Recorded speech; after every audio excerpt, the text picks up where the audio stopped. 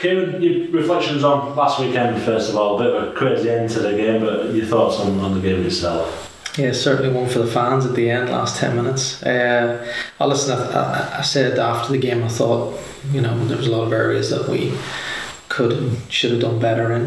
Uh, but what I did say to the girls after was that the fact that we've come away with a point, um, playing probably really well below the standard I think they can play at, I think you have to see some success in that. Um, I wanted more. I was disappointed frustrated. But again, I said these things happen, and you know we can't change it now. We can just learn from those things, which we have done. We've done uh, some work on that, and just hoping to push on. I always say, you know, every week's a new week to reset, regardless of the result. I thought some of the determination in the girls when things weren't going so well was really impressive. Um, but we know we need to be better if we want to achieve the the success that we feel we can do over the longer term. But there's no issues with me. You know, I, I think it would be naive in thinking everything's going to be great every single minute of every game we play. We just have to continue processing things. We have to continue following what we have done in training and preparing um, equally as hard for every single game, regardless of the opponent um, or regardless of the fixture and um, and we continue to do that. Do it this week, do it the week after, and we go on and go on. Are there been specifics arising from that game that you, you've looked at this week? Yeah, we've, we've talked uh, about a few things. Um, don't really want to go into those, but uh, I think we all recognise that you know things could have been better in certain areas, but we did focus on positives as well, and there were um, maybe some unseen ones that, that we know about based on what we're working on. And uh, I think, listen, uh, a few things go our way in that game, uh, and it, it creates different momentum, and it could be a different scoreline. Uh, you know, we had a few chances where if we were a bit more clinical, it can be different. The same as with Leeds. So it, it, there's a lot of good things, even if it was massively frustrating. But I think that's a good sign for us that we're disappointed with that, uh, even though we got something out of it. I think that's a really positive sign.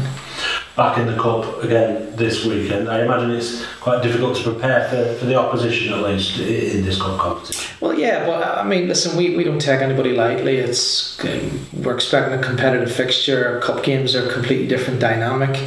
Um, we'll probably see a few changes in the team um, for different reasons, and it's a good opportunity for people who are involved to uh, to get something positive from it. Uh, I'm expecting um, a really good performance from the girls, and I always believe if we get that, the result will take care of itself.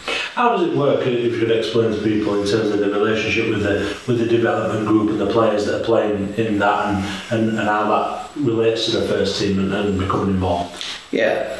I mean, when I came in, I made it really clear that it's important that we don't focus on 11 players. Um, I know some clubs do, that's not what we're about. Uh, I did come in and inherit quite a big squad even though there was quite a few injured. So that didn't necessarily impact in the short term. But now we've got players back, fit, who have been out for a period of time and who are itching to stake their claim. Um, some girls have been given the opportunity and have had that chance to do that, um, and some are striving and fighting for that. I think what we have to understand is that you know the resources that we have are limited so we have to maximize that as much as we can. It is a very tough challenge and a tough balance as any manager will tell you whether they're full-time or part-time. Um, and it, it is a challenge but it's a good challenge for us all. We all know what we're signed up to. And listen I'm here to win games. And, and you know first and foremost anybody that starts any game is starting because I believe we can get a result from it. So that's first and foremost. It's not about um, putting people in because it's nice to do that. If people aren't in, it's because they haven't staked their claim. They haven't done enough in training. They haven't they haven't shown that they they can get ahead of people. And this is the standard that we're setting. This is the the culture that we're setting. We want it to be in a really supportive environment, of course. But listen, this is you know real world football. Um, results do matter, and of course how we get those results matters as well. But it's important that throughout a season to be successful, you're going to need more than 11 players. Um, so we have to ensure that a lot of the work that people don't see is about supporting everybody, especially those who aren't starting games. Because when they're called upon, they need to be ready. They need to be ready physically. They need to be ready psychologically. Um, of course, they need to know what's required in terms of the tactical aspects, and that's stuff that I'm doing. Obviously, I've seen with certain bits of technology that we have to facilitate the, the fact that we can't get them every every day in, in person to go through individually exactly what we want from each person.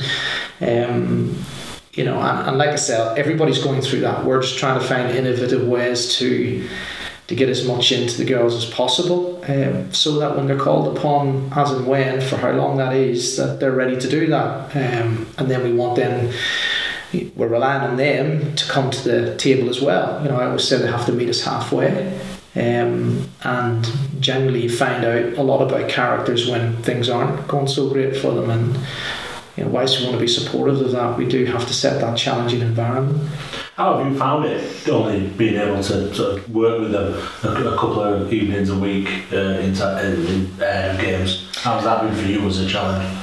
You know, it, it is a challenge um, because purely and simply I want so much more. Um, there's a lot that I want to try and do with this group, and I probably set the bar too high.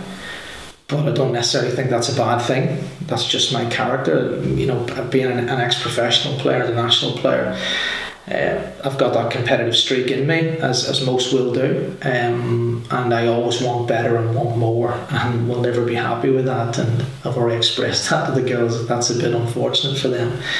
But I honestly believe that by having that mentality and that attitude, it's going to take them to new levels. Uh, I'm not one for just sitting by and just letting things happen and, and letting the world pass us by. That's not how we. That, I don't understand why we would be doing that because it questions what we're here for. We're here to win. We're here to push forward. We're here to compete um, and progress. Um, so I've had to find ways to do that. I've had to find ways, innovative ways, as I've said, to help the girls. It's a lot of time and effort on everybody's part. The staff have been amazing. Uh, again, they're unsung heroes, really, in terms of their commitment to the cause. Um, and a lot of people don't see what goes on behind the scenes. So, without that infrastructure and that, that supportive network, both players and staff, um, you know, it would, it would be a struggle. But at the moment, we're, we're coping, we're doing as much as we can we'll always want to improve, and that's just a continuous cycle of review and reflect and, and act upon. Just jumping back to the cup, obviously the club reached the final of this competition last year. Mm. How, how much will the cup success do in you know, progression in this and hopefully matching that this season? Winning games, mm. winning games. Um, you know, the cup games always have that little special extra uh, part in a season. Um, anything can happen in a in a one game uh, and that's exciting for everybody involved. Yeah, no pressure. You know, we got to the final last year, and, and we'll want to go one better than that. There's tough teams still in, so there's no guarantees, but it's certainly, uh, you know, certainly something that we're really motivated for. Um, it's always nice to be picking up a trophy, uh, regardless of which competition it is, uh, because it shows that there's something that's been worked towards and an achievement that's been made and been the best at that. Um, so I'm excited for it. Um, we'll be mega prepared for what I would class as standard cup environment and atmosphere. Uh, we're expecting uh, it not to be easy. And at the end of the day, it's, a, it's 11 v 11 know when the whistle goes. So it's who wants it more, who's prepared to then have that extra bit of quality in those key moments. And I think we've got the players that can do that.